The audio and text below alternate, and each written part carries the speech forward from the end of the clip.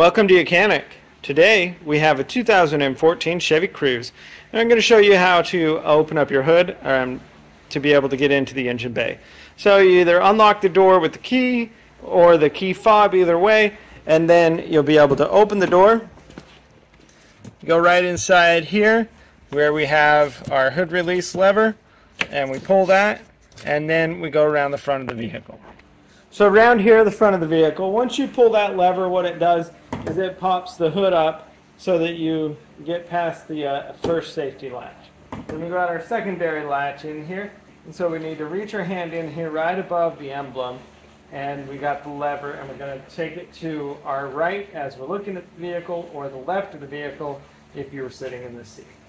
All right, so we pull that lever to this way, then be able to raise up our hood, and then support it with our support bar and then be able to do the work we need to inside the engine bay.